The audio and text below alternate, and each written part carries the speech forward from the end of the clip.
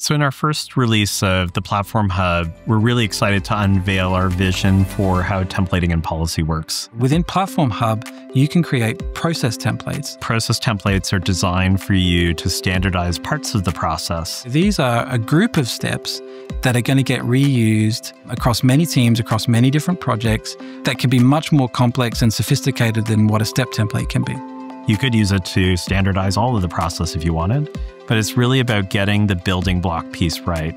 And in that, what we're trying to solve for is the ability to decide on what's really important for me to happen consistently across the organization or across projects, giving you those parameters to configure the things that are unique to projects, and then give you the distribution controls to update those process templates.